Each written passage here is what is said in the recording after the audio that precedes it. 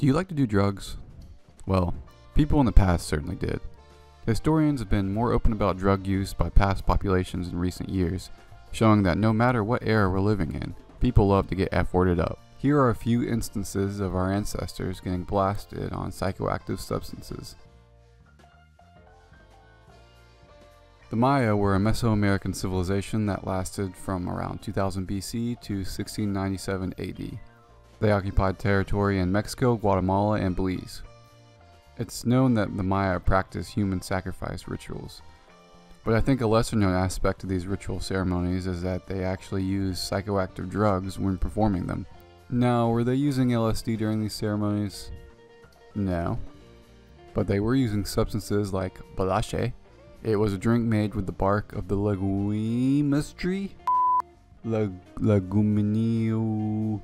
it was a drink made from the bark of the leguminous the leguminous Balache was a drink made with the bark of the leguminous tree, fermented in water and honey.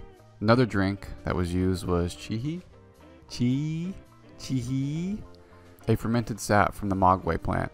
They would use substances like these to minimize pain during sacrifice rituals, which are thought to be offerings to the gods. They would usually participate in these rituals underground, which they believed helped them to better connect with the spirit world. They also chewed tobacco mixed with datura, which would induce intense hallucinations. Psychedelic mushrooms were used in human decapitation rituals and before battles. Rad. Now, now the funny thing is, in addition to taking these substances orally, the Maya also ingested them using enemas. I'm sure you know what an enema is, but if you don't, it's a way of transporting something, usually a liquid, into your ass. Yes, the Maya were boofing psychedelics. Dope. A 1986 study conducted by Peter De Smet and Nicholas Hjelmuth, Hjelmuth, who received the Nobel History Prize in 2022, talks about the consumption of drugs through the anus. This quote by old Peter De Smet is really funny. Quote, the results certainly support the theoretical suggestion that alcohol is absorbed well from an enema. So this is just is making me picture a professor type guy pouring alcohol or drugs into his asshole and his face lighting up with pleasure because from because it sounds like it definitely worked.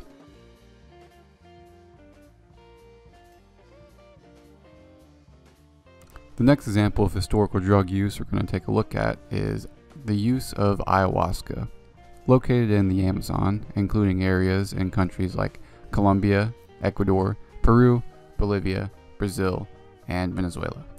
Ayahuasca is a psychedelic brewed drink administered by a shaman and made from the boiled leaves of the. Oh, fuck, here we go. Anasteropus caapi vine with the leaves of the Psychotria viridis or Diplot- Diplopterius Cabarena, Cabarena, Cabarena, Cab, Cabarena, Cabarena, Cabarana plants. You know, I, I don't think I did very bad with that. The word ayahuasca translates to vine of the soul, which comes from the Quechua language. Ayahuasca is commonly used today as a way for tech bros to have mystical experiences, to make them better at scamming people into believing their new software that identifies people by their butthole print is going to change the world but it's been used by indigenous people for centuries to help induce visions, delve deeper into one's own psyche, and to facilitate contact with the spirit world.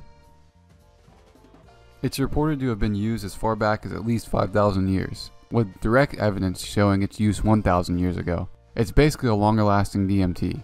So you trip for about 5 hours and experience euphoria, visual hallucinations, reality shattering revelations, and shitting and puking your guts out.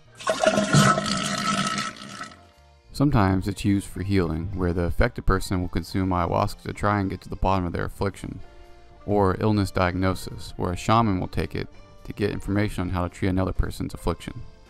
Archaeological evidence includes small ceramic vessels associated with ayahuasca rituals dating back to around 2400 BC, and shamanic snuffs containing bufotenine, DMT, and harmine dating back to around 1000 years in present day Bolivia.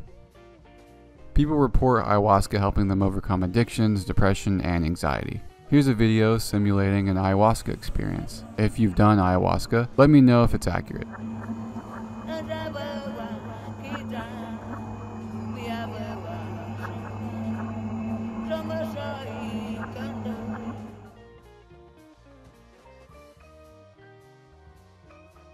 Moving on to the late 17th century, we're taking a look at the Salem witch trials. The witch trials were hearings in the town of Salem, Massachusetts from February 1692 to May 1693 that sought to figure out if witches were the cause of odd things happening around the area, such as women and young girls screaming, telling people they were possessed by the devil, making weird sounds, and even contorting themselves into strange positions. At the end of it all, 19 people had been executed by hanging, with another 5 dying in custody. Giles Corey, the husband of one of the executed by hanging, Martha Corey, was also convicted and executed for witchcraft by being crushed by stones for two days. Jesus Christ. Motherfuckers weren't playing back then. You may think these people were just really, really retarded for doing all this, and yeah, some of them probably were really retarded. But a fascinating theory that's been proposed by historians is that a type of fungus called ergot grew on the wheat and rye that people consumed regularly, poisoned the people of Salem, with the people acting the strangest being the most affected.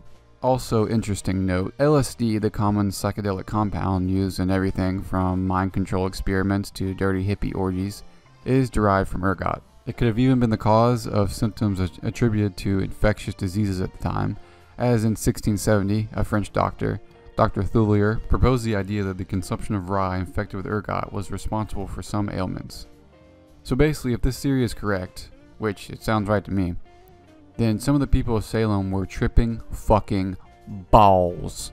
Let's compare the ergot poisoning with the symptoms of witchery. Being a witch supposedly entailed having fits, screaming, throwing things, uttering peculiar sounds, and contorting yourself into strange positions. Ergot poisoning consists of hallucinations, having muscle spasms, rigid flexed limbs, and convulsions. Hmm, very, very interesting. The witch trials have in the past been chalked up to extreme religious dogma, mass hysteria, and xenophobia, but I think it's probably all three, with a sprinkle of psychedelic fungus thrown in for good measure. It seems like the ergot was a catalyst for all the worries and insecurities people faced at the time to rear their ugly heads and pretty much throw the town into chaos. I mean, I mean, can you just imagine being able to call someone you don't like a witch and having just having them killed after? That's actually pretty sick. I mean, if I was living in 1692, that bitch that cut in front of me in the line at Aldi would be hanging from a rope right now. Well, we're yet again to the end of the slop pile. If you want more slop, as always, like, comment, subscribe, wash your ass, and have a good day.